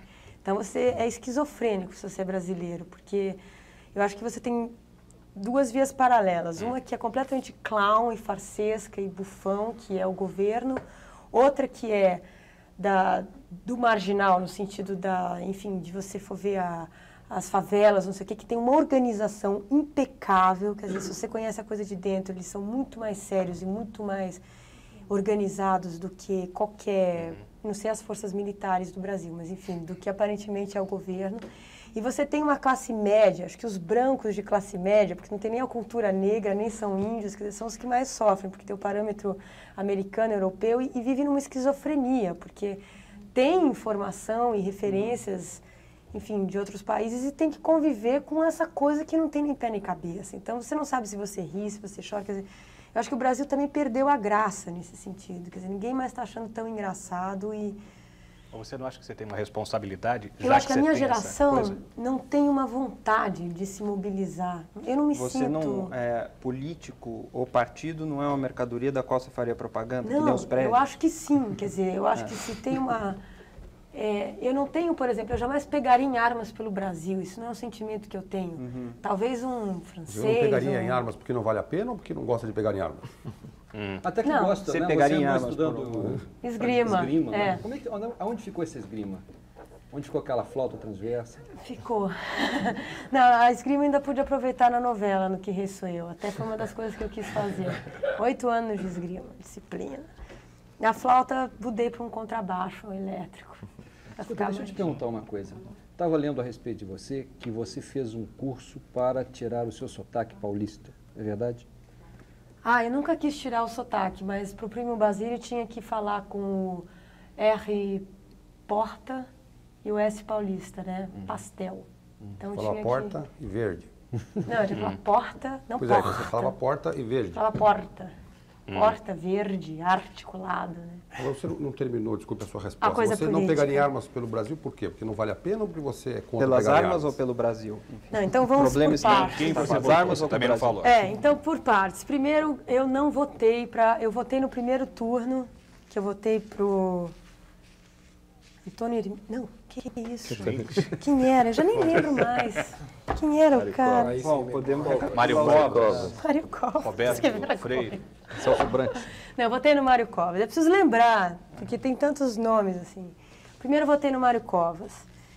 Enfim, era aquela história do voto útil, não útil. Aí eu fui viajar e eu fiquei sabendo. Foi o único momento que eu senti falta de não estar no Brasil. Foi na eleição de presidente que eu que eu estava viajando. Por Foi essa tentativa índia aí. E, e aí eu perdi a eleição, que era o Collor com Lula. Quer dizer, eu votaria no Lula naquela época, né? E enfim, acho que pelo menos é muito difícil você saber o que, que ia acontecer, né? Naquela época, hoje você votaria? Se fosse a mesma. Os dois candidatos, outra vez, acho que tá mesmos. muito difícil, né? Escolher entre um e o outro, assim. Se eu se pudesse, não, não votaria em nenhum, assim. Mas entre os dois, ficava muito difícil. Talvez, supondo, talvez seja meio ingênuo da minha parte. Talvez votando no Lula, o que eu tinha em mente naquela época é que as coisas talvez ficassem mais verdadeiras, nesse sentido de, de Menos uma tensão maior e, e, assim como a Irundina na prefeitura de São Paulo, quer dizer, tem erros absurdos, mas pelo menos a acusação e a resposta eu acho que é mais verdadeira e, e não tão por baixo do pano como é num, num Collor, por exemplo, que a gente nunca sabe exatamente o que está acontecendo. Eu acho que se o Lula fosse presidente, a atenção de todo mundo estaria tão em cima que eu não sei se daria certo, talvez fosse uma loucura, mas é, pelo menos as conversas seriam mais reais, a, a ferida estaria mais exposta, assim, nesse sentido. Por que Mário Covas? O Covas porque, talvez uma das, das coisas porque, enfim, que ele um pouco não vai ali em cima do muro, entendeu? Não é nem pra lá, nem pra cá. Então, a- na época eu pensei nisso porque era um cara mais equilibrado, enfim, nem era isso, nem era aquilo. Então você não seria a Cláudia Raia do Mário Covas. Não. Eu não tenho nenhum, assim, que eu me identifique totalmente. Eu gostava, pelo que eu via na televisão, do Freire, por exemplo. Adorava votou o outro de barba. o- Júlia, e o Brasil e as armas? Pois é, então eu acho assim que ah, eu acho primeiro um absurdo um presidente esquecer que tem cultura no país. Quer dizer, isso para mim já nem Mas ele esquece que tem cultura no país? bom o completamente. O cara fez um plano Collor e esqueceu que tem pessoas que são freelancers e que Hum. guardam uma grana para poder. Quer dizer, quando eu vejo assim João Você tinha Batista, muita grana bloqueada? Eu não, graças a Deus, senão ia ficar pior ainda. João Batista de Andrade. você João fala Batista ia filmar um filme há anos, que ele conseguiu. Ana Beatriz volta de Paris, o cara tem todo o dinheiro, vai começar a filmar, bloqueado. Quer dizer, isso é surreal, entendeu? Você vê sete cineastas na mesa de um bar chorando porque nunca consegue fazer sete anos sem filmar. Mas como é que você pode não fazer existe assim? aquela história que chora, esteja colo no poder ou não? Acho que não. Dizer, Não. depende do cineasta, né? Acho que quem tem que fazer faz de qualquer jeito. Quer dizer, Júlio Bressani faz, Valtinho faz, quem tem que fazer faz, não importa como. Isso é bom. Quer dizer, por um lado também, quem tem que fazer, tem que fazer porque tem que dar um jeito. Mas agora quem tem ou quem não tem não está fazendo igual porque Agora não está fazendo nada. Agora, você acha que isso é descaso ou será que pode até ser uma opção? É de O propósito? problema do Brasil, eu, pelo menos, minha, eu nunca soube Hum. se é tão inteligente a ponto de fazer isso para que bloqueie a cultura de um país ou se é um descaso ignorante, entendeu? Mas então, assim pega- como eu não sei da ditadura como foi, quer dizer, nada do que aconteceu, eu não sei até que ponto tinha uma ideologia por trás. Você pega um Prestes, a coluna Prestes, ou você pega, enfim, qualquer movimento forte no Brasil, você não sabe se pelo menos para mim, né, que não vivi isso, eu nunca sei se a coisa era ingênua, era, enfim, dispersava num país enorme, ou se tinha realmente algum poder militar, ou seja ele qual fosse, por trás, que tinha absolutamente controle e que sabia exatamente dispersar qualquer movimento. Pois é, mas depois do plano Collor veio o Ipojuca, que era secretário da Cultura, ah, saiu com saldo público de nenhuma realização e algumas desrealizações, porque ele desestruturou uma série de entidades. Isso é público. E depois eh, estamos aí com o atual secretário e. Parece que nenhuma- saiu uma lei agora, vai sair. É, tem uma coisa aí em gestação, mas nenhuma realização até agora. Isso não te parece algo mais do que mero acaso? Nossa, É. Eu acho assim, eu participei dessas reuniões lá em Ah. Brasília do cinema, né? E com o Rony e tal. Eu acho que o, o problema é esse. Quando eu falo assim que o, o problema do Brasil é se os brasileiros vão poder ficar nele, né? Porque É se você, você tem alguma também. exigência em relação ao teu trabalho, ou você se acomoda numa situação aqui de viver como pode, enfim, e se entregar aos pontos no sentido de uma busca, porque chega uma hora que é você não sabe se é ignorância ou se é impossibilidade mesmo. E coisas caras como o cinema, a- o próprio grupo, a Companhia do Diário não tem mais produtor. dizer, a gente só está fazendo coisas fora porque não tem quem produza no Brasil um grupo de 20 pessoas, entendeu? Só trabalho internacional mesmo. Só trabalho Peter Brook, internacional. ele filma na Índia, ele filma na... Pois é. Tem um super apoio do China, governo. isso, né? Então o problema é se os brasileiros não vão sair do Brasil, né? vou insistir pela última vez. As armas e o Brasil, por favor. Ah, da luta? Por que você, você disse, eu não pegaria em armas pelo Brasil? Então, não pegaria em armas porque o Brasil não vale a pena ou porque você é contra pegar em armas contra qualquer coisa? Não, eu não acho que o Brasil não vale a pena. Eu acho que a gente ainda não conseguiu ter um sentimento de pátria, assim, né? Então, por exemplo, eu não conheço alguém que se mataria, ou enfim, iria para uma guerra a ponto de morrer, ou o filho em nome do Brasil. Quer dizer, não sei se alguém, vocês têm fé assim, vocês morreriam pelo Brasil? Vocês saíam por aí no exército? É tudo tão escrachado que você fala, não, minha vida aí Você não está dá. aprendendo, você tá aprendendo baixo você, e cantora, você vai virar quando? Depois? É. Depois da Cláudia Hanna, Você tá tocando baixo, você vai abrir uma banda. não sei o que, que eu vou fazer com esse instrumento enorme, entendeu? Mas... É, contrabaixo acústico. Não, não, não, é Tá elétrico, mas é ele e o amplificador dele. né? Você não acha que até que você já falou, para você falar para sua geração, talvez sua música, assim, ou você acha que a sua geração vai no teatro, te vê no cinema? Eu ou- acho que a música. Desculpa, completo. Não, qual, é, qual é o jeito de falar para tua geração? Eu acho que a música, pelo menos no Brasil que eu sinto mais forte, eu acho que a MTV é legal que está abrindo espaço para vídeo, por exemplo. Porque eu sei que esse festival de um minuto aí, né, que deu 60, tem coisas maravilhosas. Então eu sei que no Brasil, por exemplo, vídeo é uma coisa genial. Eu já acompanhei vários grupos, Olhar Eletrônico, TV Tudo, enfim. É que não tem como veicular isso, mas se tivesse um espaço para isso, isso explodiria, entendeu? As coisas que o Marcelo faz, Tais faz, ou enfim, mesmo programa legal que é dentro da Globo, então tem ainda aquela estrutura, mas então eu acho que vídeo é uma coisa que explodiria diretamente na minha geração no Brasil e a música diretamente também. Acho que são as duas grandes forças. O teatro ainda não tem esse.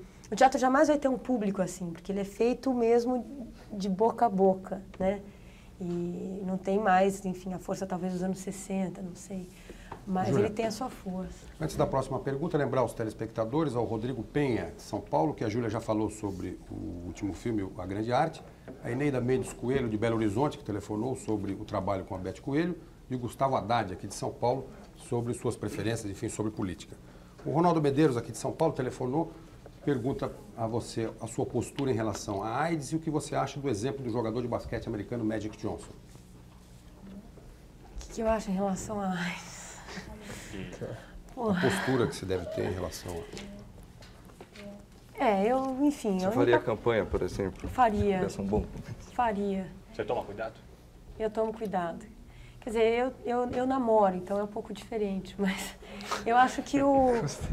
Já fiz, acho que eu até brinquei uma época que o novo casamento é teste de AIDS. assim, você faz, outro faz, é a certidão. Aí você fica com tanto pânico de sair dali que você já está casado para sempre, entendeu? Eu acho que o que é legal é que a coisa está sendo divulgada e, enfim, já não tem tanto. Não pode ter o preconceito para que possa ter a prevenção, entendeu? Então, acho que qualquer divulgação, qualquer postura, quer dizer, quanto mais natural ficar o fato de você virar e falar, poxa, então bota a camisinha, ou por favor, eu boto a camisinha, ou já bota a camisinha de uma vez, quanto mais natural for isso, quer dizer, o- quanto menos constrangedora essa situação for, ainda mais quando envolve sexualidade e tal, melhor. Mas Você você, acha que houve uma, uma- um recuo nos costumes? É, o mundo encaretou, você sentiu isso aí? Eu não conheci o mundo antes, Hum. né? Infelizmente, eu não aproveitei desses bons momentos. Nada?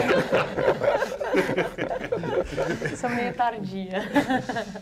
Então eu não, eu não sei o que é a liberação sexual. Mas pelas peças de teatro, pelos filmes, pelas informações que chegam até você, pelas conversas, pelo sarau, você não sente uma... Sim, não, claro, tem uma mudança. dizer, você vê agora nitidamente que está se voltando ao casal, né? Quer dizer, a uma, o que é diferente. E dizer, como é que você trabalha essa ideia de casal, assim? Você acha que a, a- a monogamia, a fidelidade conjugal... Eu acho que quando você está apaixonado não tem jeito, entendeu? Você está junto e é aquilo, e graças a Deus se o outro também tiver você puder estar junto, entendeu? Então eu acho que essa situação é ideal, né? Quando você está junto com alguém, você está junto e tá. E pode ter uma cumplicidade com essa pessoa, né? Quer dizer, as outras relações, aí depende da, da própria relação que você tem, né? E... Quer dizer que aquela lista imensa de gente, né? Mentira. É. Que sai na revista Amiga, que não sei o quê. Só para só pra É, é, completar, tão- então, ainda esse- consigo contar em alguns dedos. Assim. Só para completar esse Cara, tem gente que nem lembra mais. Só para completar esse assunto, há passando vários 100. telespectadores, vários telespectadores perguntando, você disse que estava namorando, então eles querem saber com quem você está namorando. Aparecida de Lima, de São Paulo, Guilherme, de São Paulo, José Roberto, Gente! Renê Cavalcante, Pedro Silva, Cecília Soares, todos de São Paulo, e o Marcos Pereira. Ele, inclusive, o Marcos Pereira, inclusive, pergunta se você quer casar com ele. Manda foto. Bom, esse negócio de namoro eu já fiz muito alarde dos meus namoros, então vou frustrar vocês, assim, eu prefiro guardar segredo. É secreto? É. Não é secreto, mas não é público. Uma última pergunta, o nosso tempo está se esgotando. Só Você- queria falar uma coisa da televisão, assim, Diga. do Fernando. Eu acho que é, tem essa brincadeira com a novela que eu acho que eu fui muito séria e não brinquei com isso. Que o Jorge Fernando sempre falava para mim, relaxa e brinca, entendeu? Então tem isso, a Aline não era nada, né? Ela era assim, a namorada de Jean-Pierre. Eu tinha em 15 capítulos três falas. Oi, Jean. Tchau, Jean. Oi, turma. Era isso, entendeu? Quer dizer, a partir do momento que você vai fazer, a- ele fala muito isso, né? Que novela é um, uma gincana. Ele dá o tiro, sai correndo e vamos ver como é que chega ao fim, entendeu? Então você vê que as novelas começam e viram completamente. Dizer, esse jogo é muito interessante. Eu acho que eu entrei meio sério, então eu assustava. O, o autor mudava tudo, falava, mas como? Não tem coerência com o que estava ali? Quer dizer, se você for com essa expectativa, É verdade, você podia ter escrachado geral ali, né? Podia total, Porque né? é um eu ficava achando a né? coerência, mas se ele namora outro, então eu era assim, como eu É, vou virar assado e virar depois.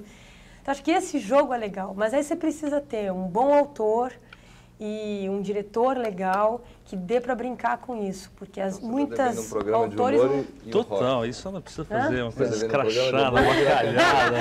tem que ser ali, ó. Bom, com essa sua observação, o nosso tempo está esgotado. Nós Poxa. agradecemos, então, a sua presença esta noite aqui no Roda Viva, aos companheiros jornalistas que ajudaram na entrevista e aos telespectadores. Lembrando que as perguntas que não puderam ser feitas ao vivo serão entregues após o programa a Júlia Gann. O Roda Viva fica por aqui e volta na próxima segunda-feira, às 9 horas da noite. Uma boa noite a todos e até lá.